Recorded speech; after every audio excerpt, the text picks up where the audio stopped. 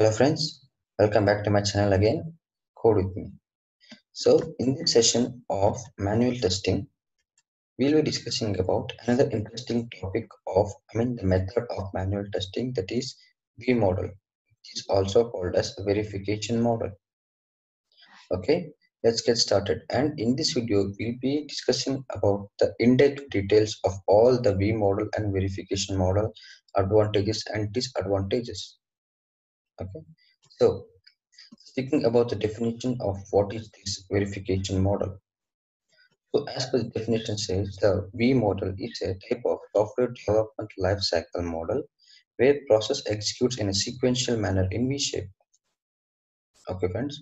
So the definition is saying that the v model is is development life cycle where the process executes a sequential manner in v shape so if you ask me what is the sequential manner in V-shape, you'll get to know what is the exact of the block, uh, exact of this V-shape sequential manner in the block diagram.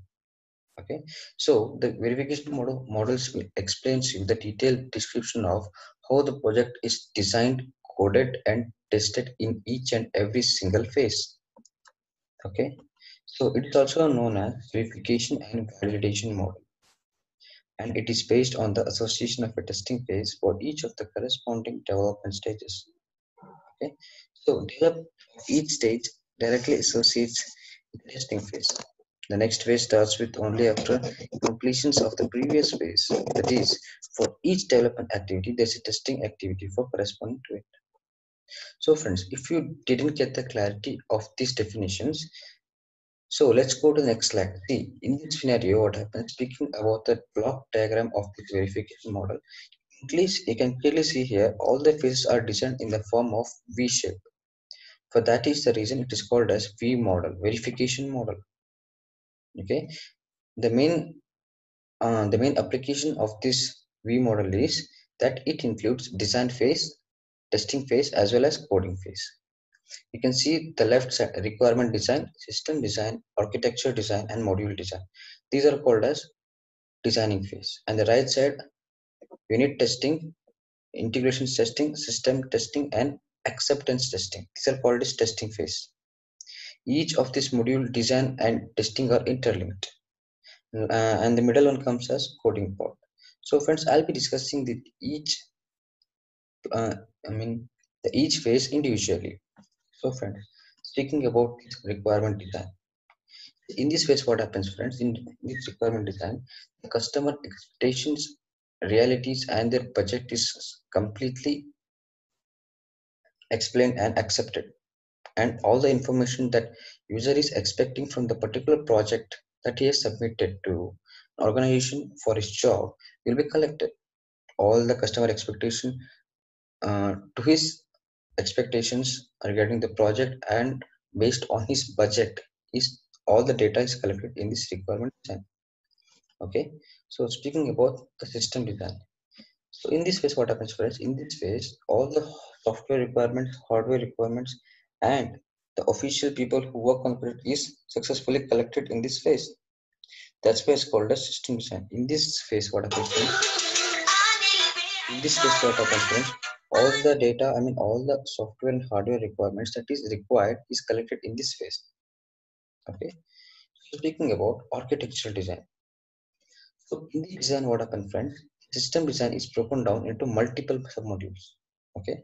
So in this phase what happens? We will create three to four blueprints so that we will have the clear picture reality on what blueprint we will get the exact customer expectation on minimum low budget architecture we create multiple blueprints. But uh, i mean if i go with the plan a i'll check what is the budget and time. If the budget is high i'll go for plan b. If the plan b is not successful plan 3 until then until we will create multiple designs. Until and unless we find the design that which is, which is not time consuming and very low budget. That that uh, that scenario is covered in this architectural design so speaking about module design, in this friends, each system is broken into multiple submodules. Okay, and this is also known as overall design. All the submodules is successfully executed and they're combined together. And next comes coding. all the internal operations of the coding the project is done in the coding phase and once the coding phase is done we'll directly move to the unit testing so what are these unit testing friends? Speaking about unit testing the first level of testing here what happens friends? We'll test the test cases of each step by step. We will not go any in-depth and critical scenario inputs. We'll just make say blindly until if the uh, program is successfully executed it is called as unit testing. You will not go any in-depth of this uh, critical inputs whether if i give this input this output will come around because in this unit testing phase the first thing is bug is eliminated and the program successfully executed but we cannot judge the, the program just successfully executed produce the exact output or not so after this phase, the project is submitted to the integration testing. So integration testing, testing is a form. In integration testing, what happens, friends? The modules are integrated in the system is tested. Okay, integration testing is performed on architectural design phase. This verifies the communication models of themselves. Okay, so this is the role of this integration testing. And next comes system testing system testing what happens here what happens complete application and the functional of this project is successfully executed and the next responsibility is that you have to successfully I mean successfully install the project to the customer place. That's the role system testing. If if a particular project is designed and you have submitted to the customer but the customer is expecting to install the software that is submitted to the customer place itself only is called as user acceptance testing this is what happens that the user environment resembles the problem the production environment verifies that the delivery system meets user requirement and system is ready for the real world in, the, in this is what happens all the system that is completely accepted ready and installed in the user, I mean the customer environment is successfully done in the real world and it's ready for execution. Okay, this is a very small video regarding the verification model, but it's good to know the in-depth details of this verification model. Okay, so last but not least, speaking about the advantages of verification model. It is highly disciplined model and features are complete one at a time. You can clearly see in the block diagram of this verification model, friends, it is highly disciplined. I mean, all the phases are clearly organized at one at a time. All are not traffic related. Okay. And speaking about V model is used for small projects. The projects required environment is clear. The verification modes uh, uh, as I explained before, verification model contains eight phases. It is used in the small projects, not any in-depth like server-related or firewall-related kind of projects. And it is simple and easy to understand. Next, this model focuses on verification validity, validity activity early in the life cycle, thereby enhancing the probability of building an error-free and good quality product. Okay. So speaking about last and uh, sorry, it also enables the project management and track progress accurately.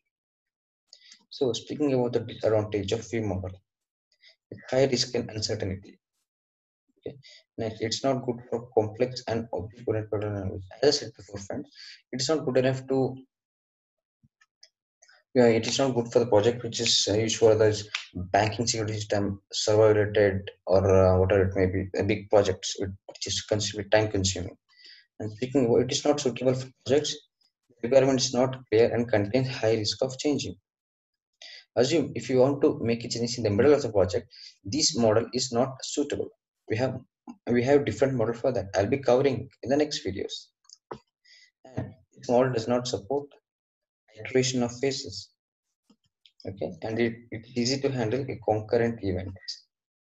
Okay, thank you friends. And before directly exiting the video, so if you have any doubt regarding the verification model, request you to kindly please pin down your doubts in the comment section. I'll definitely reply you back.